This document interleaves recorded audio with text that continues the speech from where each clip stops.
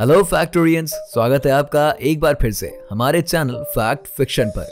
आज हम आपको ना ही किसी बड़ी दैत्याकार मशीन के बारे में बताएँगे और ना ही कोई इलेक्ट्रॉनिक गैजेट की फैक्ट्री मेकिंग प्रोसेस दिखाएँगे। पता है क्यों? क्योंकि आज तो हम आपको ले चलेंगे बॉलीवुड के गलियारों में और बताएँगे एक्ट्रेसेस की खूबसूरत हरी और लाल चूड़ियों के पीछे का राज। समझे या समझाएँ? अरे भाई, आज हम आपको बताने वाले हैं कांच की चूड़ियों की फैक्ट्री मेकिंग प्रोसेस के बारे में।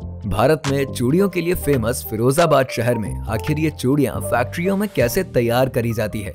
और कितना मेहनत भरा वर्कर्स का यहाँ पर काम होता है? तो चलिए बिना किसी देरी के शुरू करते हैं अपना शानदार चूड़ियों का फैक्ट्री मेकिंग प्रोसेस दोस्तों, फिरोजाबाद भारत की एक ऐसी लोकेशन है जहाँ पर पूरी दुनिया में सबसे ज़्यादा चूड़ियों का काम होता रहता है। और यहीं से बनने वाली हर तरह की कांच की चूड़ियाँ पूरे देश के अलग अलग हिस्सों में सप्लाई करी जाती है। और यहीं से चूड़ियों का स्टॉक बॉलीवुड के गलियारों में भी जाता है, जिसे पहनकर हमारी बॉलीवुड हसीनाएँ कभी अपने रूठे हुए सजना को मनाने का काम करती हैं तो कभी इन्हीं लाल पीली चूड़ियों से उन्हें रिझाने का काम करती हैं। ये चूड़ियाँ हमारे घरों की महिलाओं से लेके फ़िल्मों तक की एक्ट्रेसेस और डायरेक्टर्स के बीच भी काफ़ी फ़ेमस है। तभी तो इस पर कई बॉलीवुड सॉन्ग्स भी बन चुके हैं। लेकिन इन खूबसूरत रंग बिरंगी चूड़ियों को बनाने के लिए मेनली जिसकी आवश्यकता होती है, वो है कांच। लेकिन कांच से डायरेक्ट चूड़ियाँ नहीं बनती है, बल्कि पहले हमें इस कांच को भी फैक्ट्रीज में बनाना पड़ता है, जिसके लिए हमें रेत और सोडे की ज़रूरत पड़ती है। तो फैक्ट्रीज में सबसे पहले रेत को छानने का काम किया जाता है, जहाँ पर इन रेत को छानने के लिए एक बड़ी सी लोहे की जाली लगे हुए फ्रेम का इस्तेमाल किया जाता है। इस काम में भी डस्टिंग काफ़ी होती है, लेकिन अब यहाँ फैक्ट्रीज में मजदूरों का ये रेगुलर का काम होता है। इसीलिए इसके लिए ये ज़्यादा सुरक्षा रख नहीं पाते हैं। और कई बार सिर्फ़ एक कपड़े से ही नाक को ढककर इस बालू को लोहे की जाली वाली फ्रेम की मदद से छानने का काम करते हैं। यहाँ पर रेत का एक बड़ा सा पहाड़ खड़ा रहता है, जिससे इन मजदूरों के द्वारा छानने का काम किया जाता है। ऐसा नहीं है कि रेत को छानने का काम किसी एक दिन का प्रोसेस है, क्योंकि उसके बाद कांच की मेकिंग कंप्लीट हो जाती है, बल्कि एक तरफ़ इधर बालू और सोडे को आपस में मिक्स करके कांच बनाया जाता है, और दूसरी तरफ़ इनसे चूड़ियाँ बनाने का काम भी शुरू रहता है। इसीलिए इन मजदूरों को बालू छानने का ये काम रोज करना पड़ता है।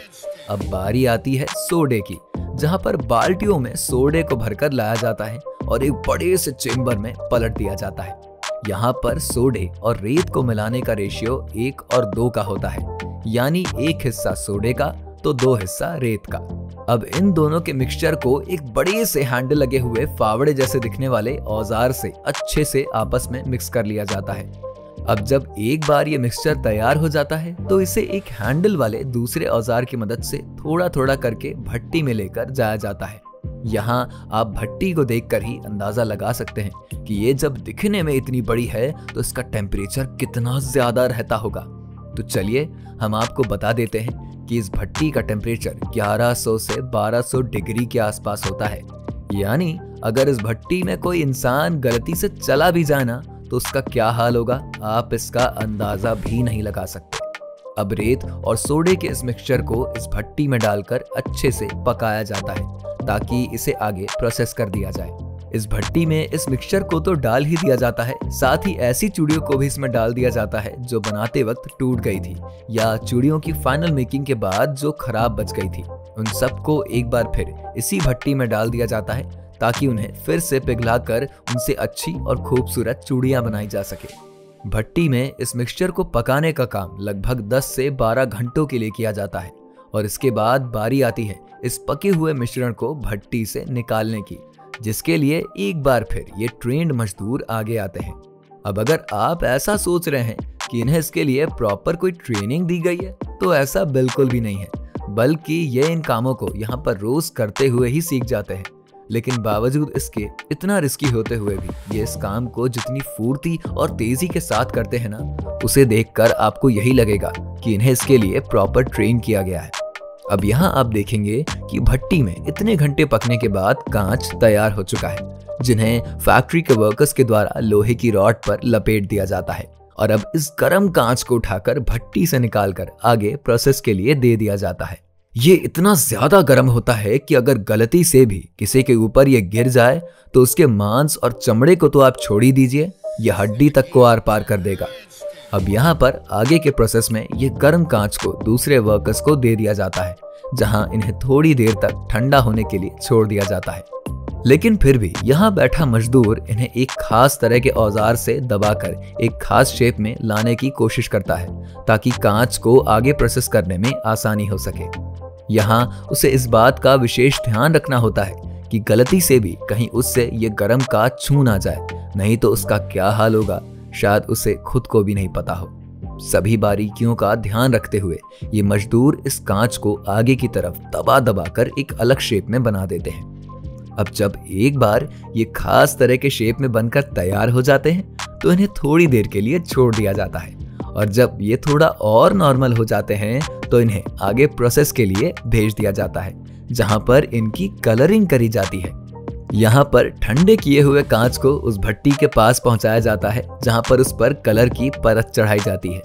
इसके लिए सबसे पहले लोहे की छड़ में फंसे हुए कांच को नीचे रखकर उस पर भट्टी में गर्म किए गए कलर को कांच के इस टुकड़े पर लगाया जाता है, और उसे हर तरफ़ से कांच के टुकड़े पर फैलाने की कोशिश करी जाती है। जब एक बार इन पे कलर चढ़ जाता है तो अब इन्हें दूसरी भट्टी में डाल दिया जाता है, ताकि इस पे लगा कलर अच्छे से पक जाए। इस भट्टी का भी टेम्परेचर लगभग हज़ार डिग्री के आसपास होता है।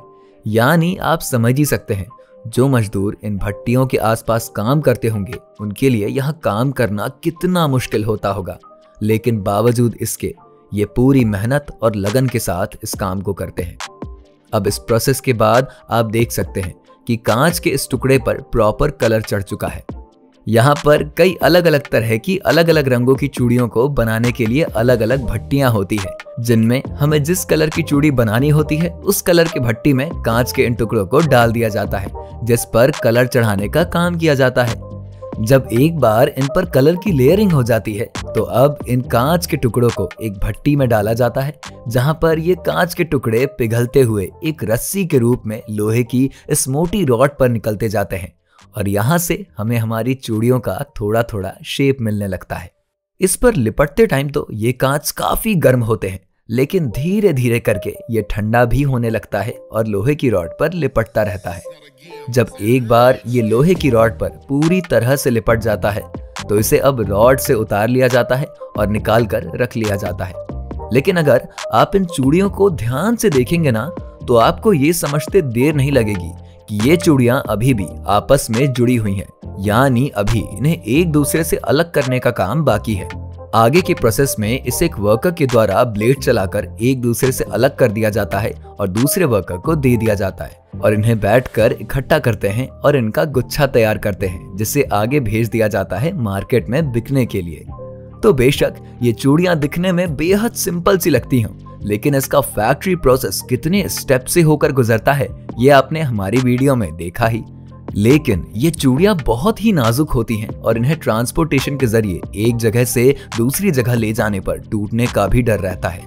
इसीलिए इन्हें बहुत ही ध्यान से फैक्ट्री से ले जाया जाता है और तब जाकर मार्केट में बेचने के लिए भेजा जाता है।